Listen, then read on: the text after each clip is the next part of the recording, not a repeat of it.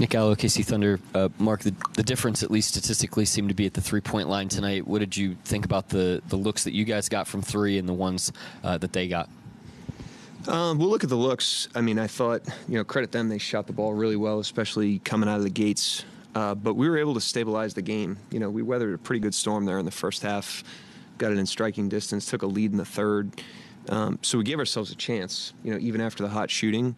Uh, and I just didn't think we executed well enough either end uh, to really grab a grip on the game. Credit them, they came in and played really well. On those threes, the Mavs got um, a lot of attention uh, paid to uh, Kyrie and, and Luka. Are you okay with the, the looks they got, or do you feel like you guys could have got out to them a little bit more? It's a lot of threes. I mean, okay with some of them. You know, some of it's just like game plan uh, cost. You know, you have to you have to give something up, and then some of them I thought were just like looseness. I thought um, we didn't do a great job of getting set tonight, and a lot of them came, you know, on a loose floor or in transition. They obviously rebounded the ball well, you know, like we did last game. Um, so it's a mishmash of things. There's some that we just have to tip our hat. There's others that are controllable uh, that we have to correct, obviously. And then what did you uh, think about you guys' pace tonight? Our, I'm sorry. Pace. Um, I thought at times good. You know, we were taking the ball out of the net more tonight than we have uh, in a while, uh, which slows you down. But I thought, you know, we tried to go at times. Um, our decision making wasn't as sharp as it's been. You know, I didn't think we had uh, great attacks tonight offensively. I just didn't think we were as sharp on either end of the floor as we've been in a long time. So, got to learn from it, figure out you know how we can improve and be a better team in Game Three. You you gave like a back cut dunk with like 2.9 on the shot clock, and you know a couple walk in threes. I can remember. What are what are maybe the, the specific possessions that you know you, you think back on? Like those are the errors that you usually don't make. Yeah, I mean there were a good amount of them tonight. You know, credit them. I mean it's a it's a heavyweight fight, and we threw a punch the other night. They threw a punch tonight. Part of fighting, you know, is throwing them, and part of fighting is taking them. We took one tonight, but um, so not to take anything away from them, but I just thought from an execution standpoint, uh, there was just too much unearned. You know, the one you mentioned certainly, but it was a lot of plays uh, on both ends. You know, I thought there were some offensive plays where they get runouts. You know, just on lack of uh, execution or a decision we made. So something we can learn from. I mean, we've been a team that's grown through everything. Uh, we've grown through a lot of success this year. We have to grow through, you know, like I said, taking a punch tonight. You you went with Wiggins over Giddey in the second half. What went into that decision, and what hasn't worked? Would you say in the in Giddey's minutes? Say it one more time. What hasn't worked in in, in the Giddey lineup so far? Um, I wouldn't say it like didn't work. I would just say, you know, it's a halftime subs is something we've done for a long time. It's a, basically an in-game substitution. So I don't view it as any different than checking somebody into the game with eight minutes to go in the third quarter or something. So uh, we're going to keep it fluid. I, you know, we went big right away early tonight. I thought that looked pretty good. Uh, we're going to be a moving target there. Do what we think is best every night. Every game's different. We're going to keep doing it. Luke is obviously going to get points. He's that kind of scorer. But what did you maybe need to do better against him tonight? Um, had seven assists too. Um, I think double digit rebounds. Are those the type of things you have to hit and live with the points, or what did you feel like your defense did with him? Tonight? Again, every possession's different. You know, I thought to start the game there was kind of like a correction on, you know, his part. Not that he corrected it, but I mean, last game he didn't shoot the ball very well. Um, there were some looks that he got last game that he's probably used to making. He made more of them early in the game tonight. Um, I didn't think you know it was necessarily you know what we gave to him. I thought it was some of the rotations out of it. Some of the help wasn't quite as early uh, as it was last game. It was more of those things. Um, where they got the easy stuff, but I mean, he's going to earn it. Irving's going to earn it. Those guys are great players. Mark, uh, just to, to start the fourth quarter, I mean, Shai was in for like all of maybe 35 seconds. You put Dort and, and, and in together, which I don't know how many times we've done that to start the fourth this season. Just what went into that decision just to start the quarter?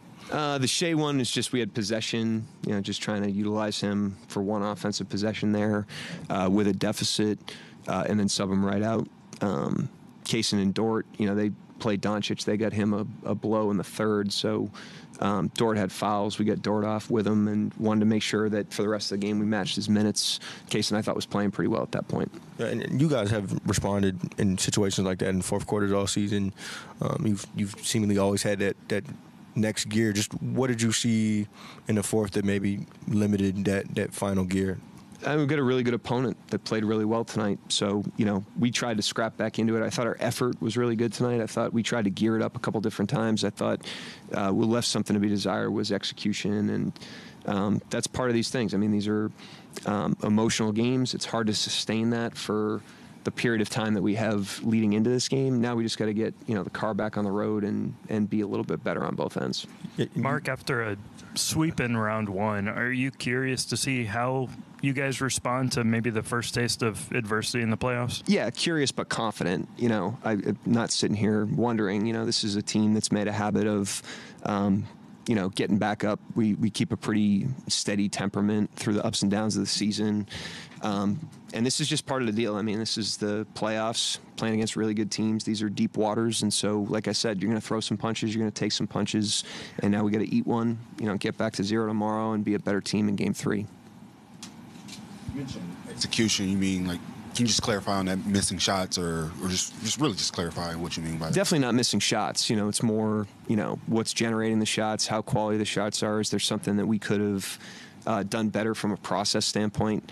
And then same thing defensively. You know, like if you know they make a tough play, um, you tip your hat to them. But uh, you just got to bet over the course of a hundred possession game that um, if you do it well on both ends of the floor, it'll yield a win. Um, I didn't think we played like that tonight, and credit them, they did. They played really well. That was part of it too. Mark, just to the points that, that Joe made in, in his question, like because you guys haven't lost in you know, over a month. Like, what does that look like preparing these guys for the emotional gaps now between these days? Um, you know, we've lost a game before. You know, this isn't un- uncharted waters. You know, we just haven't lost lately with long layoffs and the sweep in the first round. So, um, we, you know, the team pulls together thing I respect about our guys is they pull together in adversity, and we've pulled together in success, which is hard to do too. So, um, everything we do, we do as a team. We'll learn from this one as a team, and we'll walk out there as a team on on Saturday. Mark, you mentioned Luka and some of the shots he missed in game one he happened to make in this game. How do you sort of parse between like the law of averages bouncing back versus sort of shot attempts you guys want to limit that you didn't weren't able to tonight? Yeah, that's the challenge. You know, um, I thought there was a law of averages thing tonight with him. You know, he he made some shots early, especially. Um, and then I, you know, we went and got him a little bit tonight, and the execution out of those plays wasn't great. You know, we mixed our looks again. I think that's important against him, is not to give him a steady diet of anything. Same with Irving; those guys have seen everything, so they'll calibrate pretty quickly. But um, we just got to, you know, tighten the screws on the execution a little bit on that end you, you mentioned the double big lineups. You didn't go to that much this season. What's kind of motivated you to use it like you have, and what's working? Um, I thought in both games it's given us like a nice rim presence. Um, it's given us a nice rebounding presence, and I think with the way that they defend us, it doesn't really alter us much offensively. We're able to stay in character. Obviously, Jay Will shot it well early tonight. I think um, that makes them think twice about some coverages, and so uh, it's just another option. And like I said early in a series, you know, every possession feels like um, it has a lot of gravity to it. But uh, early in a series, you want to create optionality. You want to figure out what you have. You want to figure out what the best thing is. Um, and we try to do that here through two games. Dort was in foul trouble for good chunks of this game. What are your thoughts on just how he's being officiated specifically? They're not all uh, defensive fouls. You know, there's a couple like loose ball fouls. Last game he had an offensive foul, so it's not all just like how he's guarding uh, Doncic. But I mean, with the physicality of him, the physicality of Doncic, um, he's going to pick some up. You know, we'll balance.